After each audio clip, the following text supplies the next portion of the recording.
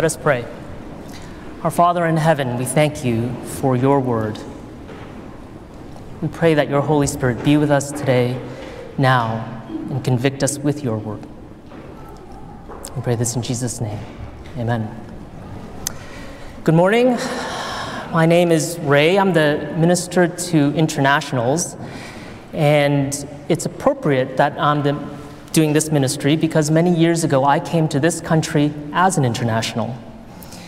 And my parents are from Hong Kong and China, and so I grew up uh, with one foot in each culture Chinese culture and American culture.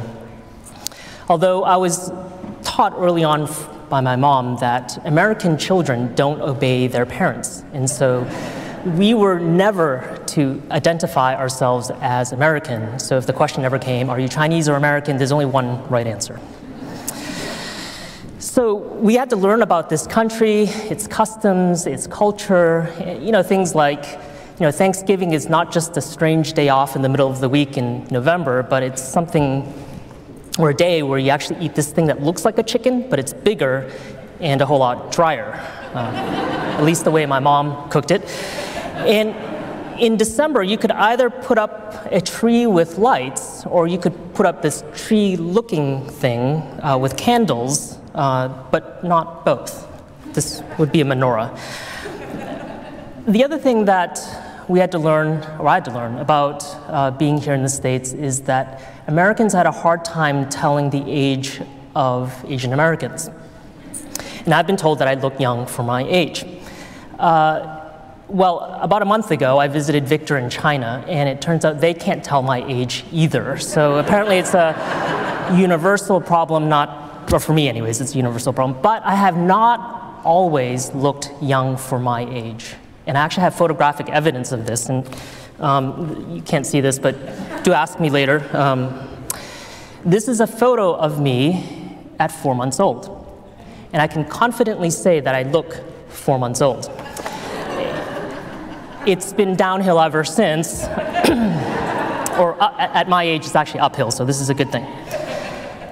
The reason why, or the connection is that um, I didn't actually become Christian until college. And so when I read this parable that we just read together just now about the wise and foolish builders, I thought to myself, well, now wait a second, I've actually heard this story before when I was a kid growing up in the States. So let me read the story from my childhood for you. Once upon a time, there were three little pigs. The first pig built a house out of straw, the second out of sticks. They finished quickly and they laughed and they played on their Xbox for the rest of the day. I updated this story a little bit. The third little pig worked hard all day building the house out of bricks. Then a big bad wolf heard the first two pigs playing Xbox and thought, yummy. So he went to the first house and said, Little pig, little pig, let me in. And the pig replied, No, by the hair of my chinny chin chin. So the wolf huffed and he puffed and he blew the house down. The little pig ran to the second house, the one made of sticks. The wolf came, and he huffed, and he puffed, and he blew that house down. And they both ran to the third house, the one made of bricks. The big bad wolf chased them there, and he huffed, and he puffed, and he could not blow the house down. So the first two pigs le- learned their lesson and dutifully built brick houses and lived happily ever after. So the moral of this story is build a strong house or bad things will happen to you. And this, more or less, is the same point Jesus makes here in our passage. The house laid upon a foundation of rock will stand when the storm and the flood comes. But the house without a foundation will collapse and be destroyed. So, on the face of it, it seems foolish to build a house without a solid foundation. Just as it seems foolish to build a house out of hay and you're a pig and prefer not to be eaten. It is self evident, so much so that it seems unnecessary to say it. But the point of our passage today is that Jesus is not actually talking about house building. What he's saying is that the strength to withstand the trials of life come from hearing his words and putting them into practice. He's making an analogy or a metaphor with his parable. And the question is do we believe that what Jesus says is true? That hearing his words and putting them into action actually makes us like a house that is built on a foundation of rock. As he says, Everyone who comes to me and hears my words and puts them into practice is like a man building a house who dug down deep and laid the foundation on rock. So we might agree that a house should be built on a solid foundation. But how does this relate to a person's life? How does coming, hearing, and putting into practice the words of Jesus lead to a life that is like a house solidly built? Now, the first time I read this parable, and in particular the first part, where it says, Why do you call me Lord, Lord, and do not do what I say? I thought the parable was differentiating between people who came, heard the words of Jesus, and did not believe, versus those who came, heard it, and did believe. So, in other words, I thought that this parable was differentiating between non believers and believers. And since at the time I was a believer, I thought I was all set, and thank you for praising my well built house. But that actually isn't the case for this passage. Non believers would not call Jesus Lord. Only a believer would. And in the original language, repetition is used for emphasis. So, Lord, Lord means Lord, and I really mean it. But the wordiness compensates for lack of action. That is, they say it and emphatically, but their actions reveal that their heart is elsewhere. And so the audience for this passage is not non believers, but believers. This teaching is directed to most of us here, those who call Jesus Lord, but are struggling to put those words into practice.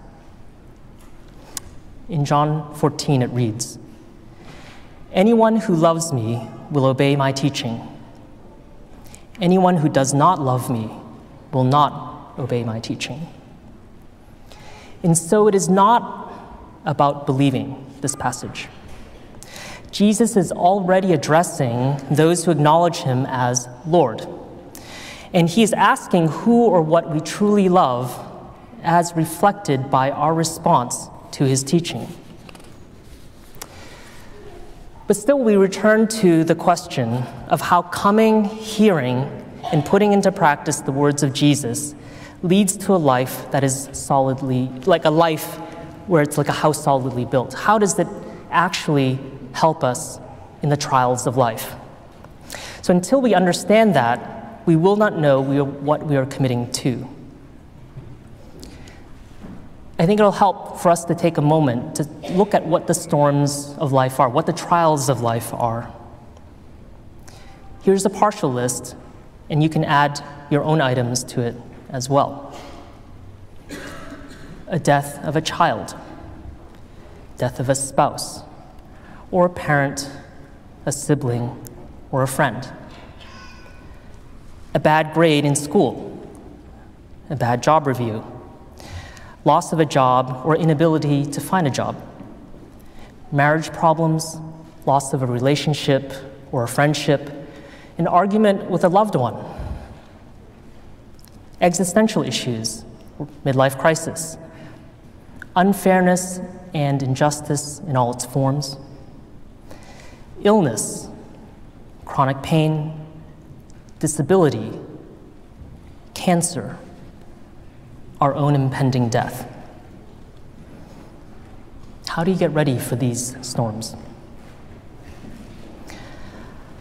I haven't even decided how I want to face these I have this fantasy that uh, I'll die quietly, peacefully in my sleep at the age of 80. Actually, make that 90. and I don't think I want to get sick first because that would be too uncomfortable. Um, but, but then if I die suddenly and unexpectedly, I won't be able to say goodbye to my family and friends. And so I think I actually do want a brief illness, but one of those non suffering types. Um, then I thought, wait, if I live until 90, I'll probably outlive my friends and family. So I'll be sad when they die and will need to deal with the grief. So, you know what? I- will die first. But that doesn't sound quite right either. Um, anyways, you get the picture. And this is why denial is such an excellent solution. Um, I do recommend it highly. So, in the meantime, of course, um, small storms come uh, to our lives, unpredictable but constant. Small conflicts or disappointments, um, nothing truly obvious, like a wolf coming to eat me. But that's the brilliance of Jesus' parable. Because if you're a pig and you don't want to become Ham, build a brick house. That doesn't require intelligence or wisdom, but that's why it's a children's story. Storms are different. Most storms are small, and a house without a foundation will do just fine. So, on the surface, that house, the house without a foundation, looks exactly like the house with a foundation. The living room, the, X, you know, the kitchen, the Xbox for the kids, of course, uh, will all look the same. And it's only the serious storm, the big storm, that will differentiate between the two types of houses. So the temptation is always there to cut short the foundation building because on the surface, all is fine, as long as the big storms haven't arrived yet. But that's the problem with storms. If you wait long enough, that rare, powerful 50 year, 75 year storm will come. And so it is with life. Maybe, if we work hard all the time, we can avoid a bad grade or a bad job review. But then our family will criticize us for working too hard and ignoring them. Or someone will criticize your lack of initiative because all you do is try to please others. We will lose our job eventually, either prematurely or to retirement. And you might have a midlife crisis in the meantime. And the very healthiest, low caloric, low fat, Mediterranean vegan diet, plus three hours of daily exercise that raises your heart rate above 100, will not prevent illness, not forever. Our bodies age, they get injured, they hurt, and they die.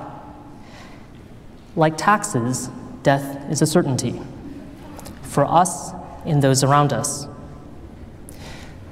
The timing is unpredictable, but that these trials will come is certain. We try to do something about that. We try to prevent or we try to do things to make it better, I suppose.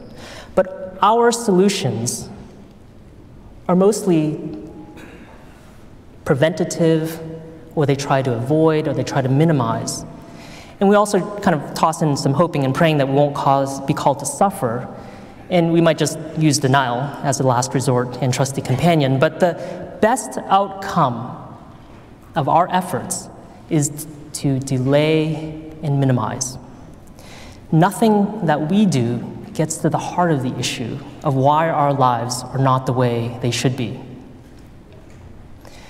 The reason why our lives are not the way they should be and why the storms affect us so much is because of sin. Our bodies fail because the world is corrupted by sin.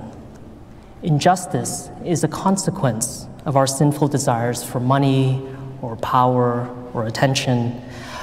Our relationships suffer because we are selfish and self absorbed. When we call Jesus Lord and put his words into practice.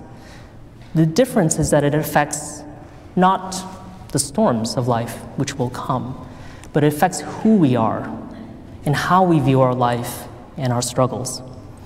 Because it addresses the underlying problem of our sin and it teaches us how to love others and to love God.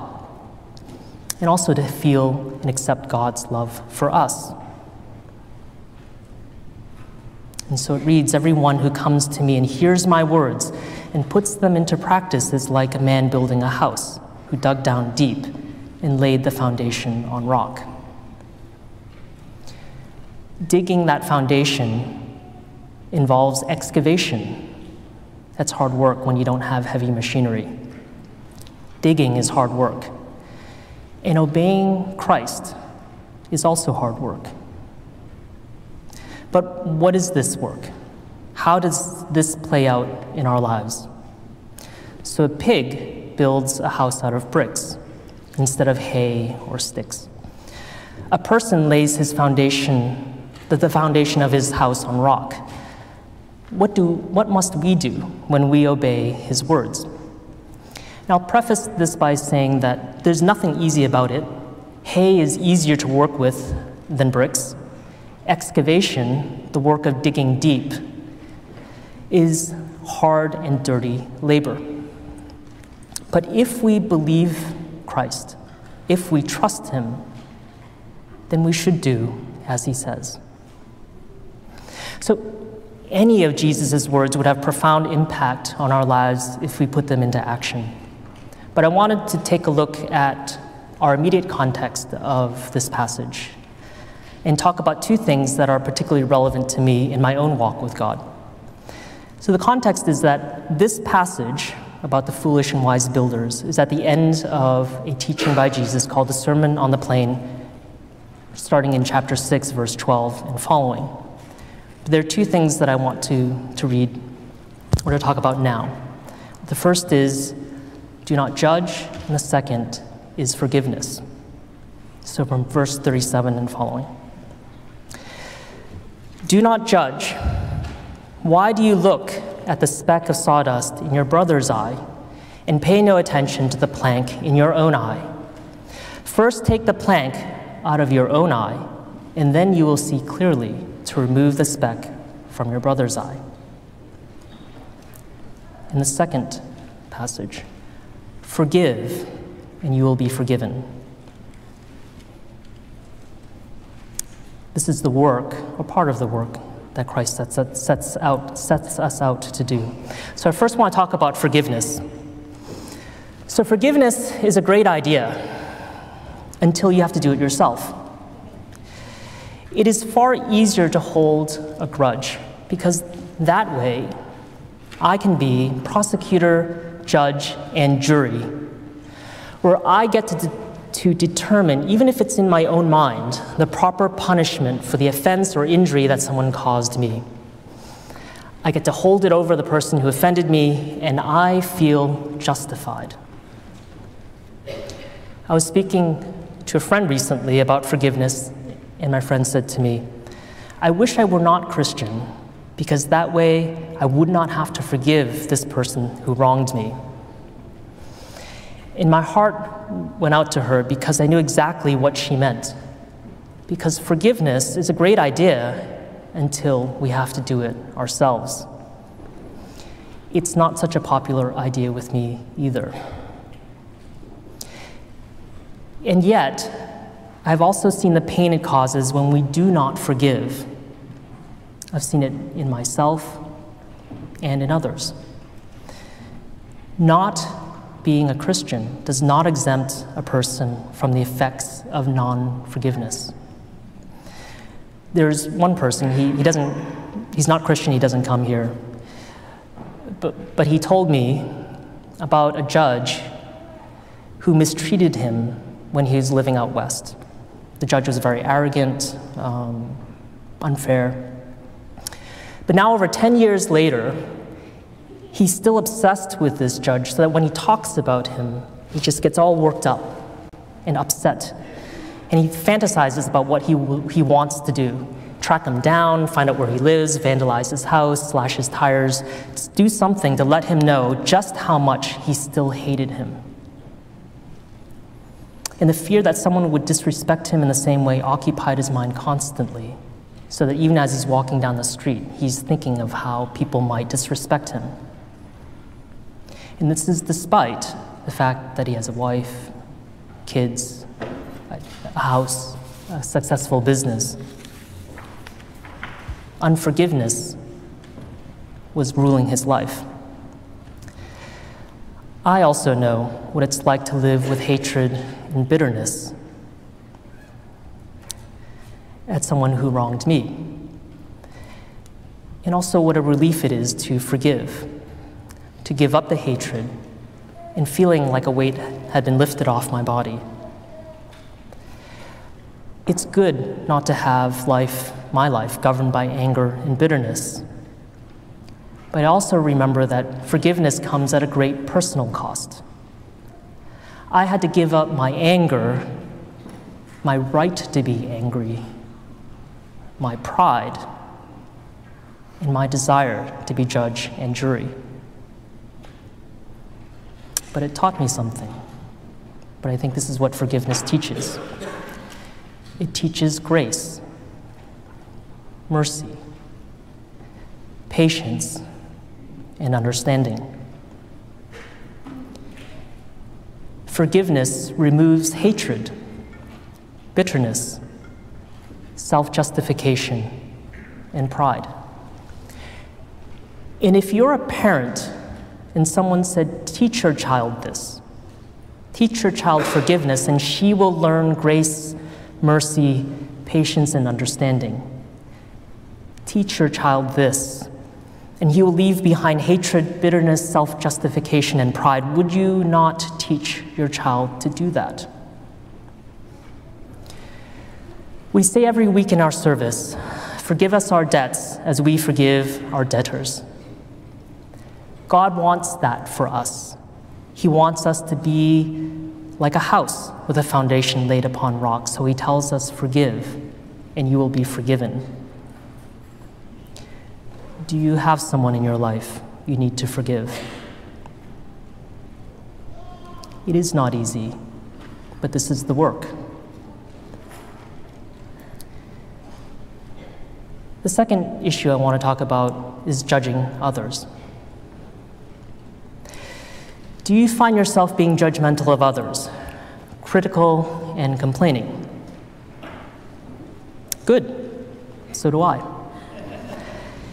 There is a reason we see the speck of sawdust in our brother's eye and pay no attention to the plank in our own eye.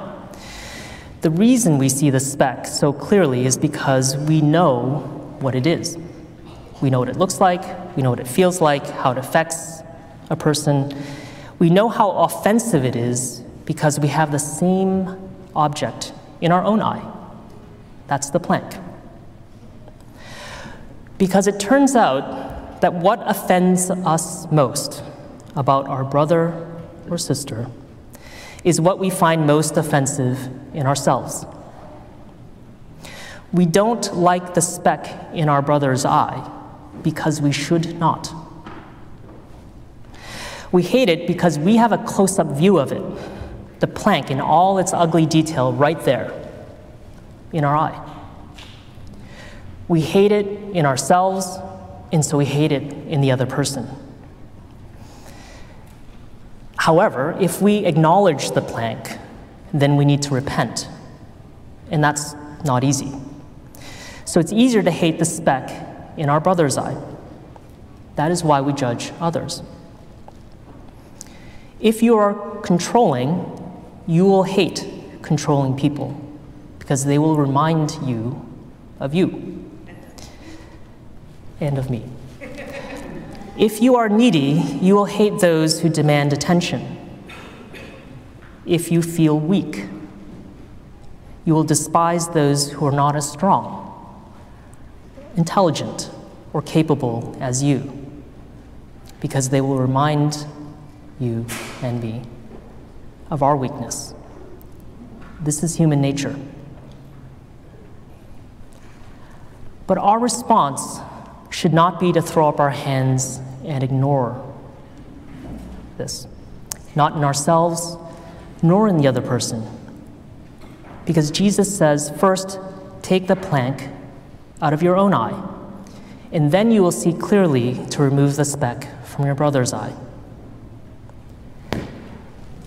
So the problem is that you have to actually see the plank in your own eye to be able to remove it. And it might seem obvious, but I don't know if this has ever happened to you. You put something down, a box of stuff, or maybe a dirty pile of clothes in the corner of the room or even in the hallway, and you start stepping around it, and after a while, you don't even notice it anymore. That's like the plank. So, removing the plank requires that we see it again, like that box in the hallway. But here's the good news what offends us most about our brother and sister is what we find most offensive in ourselves. It's a wonderful, accurate, and always available diagnostic tool.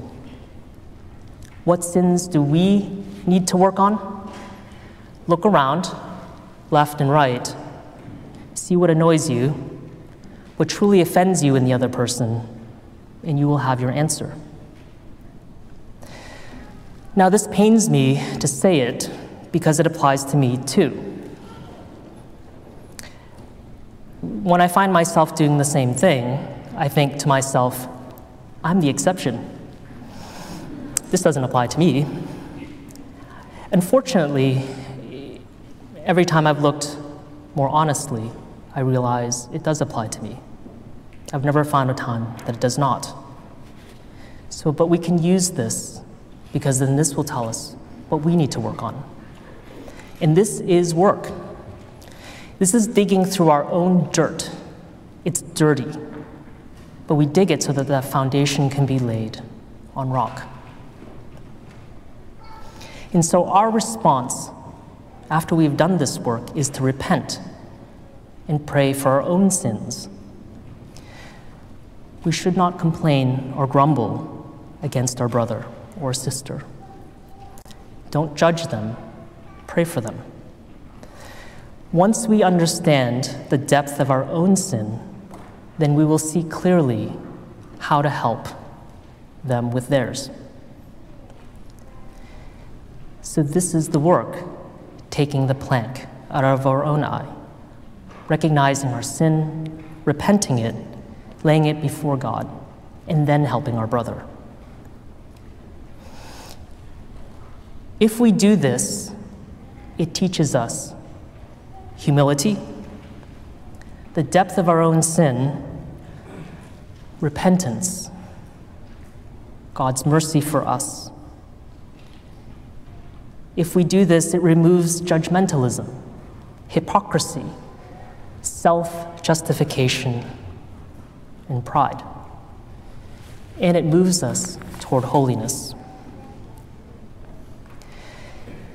If we build a house, of course we want to lay it on a foundation of rock, because otherwise the house would collapse and the, and the destruction would be complete.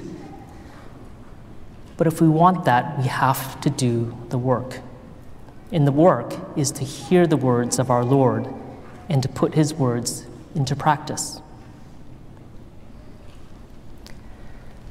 The storms of life will happen. They are an eventuality. We can delay them, we cannot prevent them. So, the most relevant question is this Who will we be when they arrive? What will our relationship with our Lord be when they come? Will our relationship be strong and vibrant, or will we be wanting to hide from our Lord? because we have not done what he has asked? Will, will we be able to face the storms of life with peace and joy rather than anxiety and fear, rather than in anger or bitterness?